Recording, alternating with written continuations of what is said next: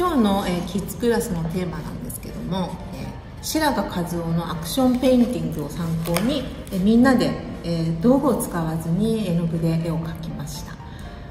アートジムのキッズクラスでは、えー、毎回いろんなテーマを設けているんですけども例えばアーティストだったりですねデザイナーだったりその、ま、手法だったり考え方を、え、子どもたちと一緒に、ま、ちょっと共有しながら、えー、プログラムにして進めています。でこれはですね今日書いた作品なんですけどもこれはあのみんなで共同で作った作品でまず線を自由に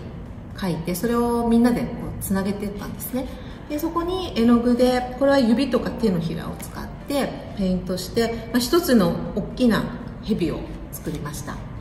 でこれはあの何でしょうね。絵の具を使うやっぱりストレッチというかそういう形にもなっています。どうしても最初からあのいきなり何かを描くっていうのはすごく難しいところもあるんですけどもそこを1個、えー、ワンクッションというんですかね楽しんで、まあ、制作して次の,、えー、本あのテーマに沿った作品作りに生かしています、はい、でこの後に作った作品が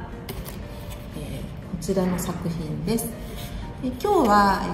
例えばあのリンゴを描くとかそういうことではなくてできるだけこう形のイメージが個人差があるというんですかね。そういうものを言葉をこちらで選びました。でこのこの作品は「光」というテーマで作品を描いています。これも光のイメージを、まあ、自分なりにこう考えてあの工夫して余白の使い方とかですねなんか自分なりの意見を持って、えー、制作してたと思います。続いてこちらです。これはこの向きで間違いないと思います。というのは、えー、風というテーマで書きました、えー、風も人によってはその色がないものなので、まあ、どういうふうに捉えるかっていうことが、えー、面白く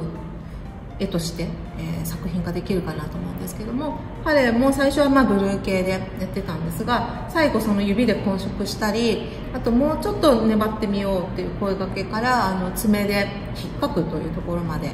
行って、まあ、ここまでの何でしょうね結構な密度のある作品ができたんじゃないかと思います。3つ目が、えー、これはですねなんとなくイメージがつきそうなんですけども「愛」という言葉をテーマにしました。でこれもあのみんなそれぞれが言葉のテーマはくじ引きで決めたのででもみんな何て言うのかなそれを拒否しないというか「愛」って聞いたら「あじゃあそれを書きます」私の愛ですっていうふうにすごく思い切って制作したと思います。これは真ん中が愛の塊を表した絵だそうです。このようにあのプログラムの中に何段階かをこう踏まえていてで